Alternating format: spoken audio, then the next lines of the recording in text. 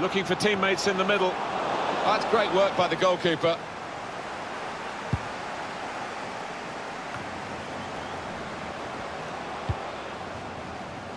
Hazard. Cato. Aguero. Shots on here. And it is the opening goal of this match. Oh, the fans are loving that one.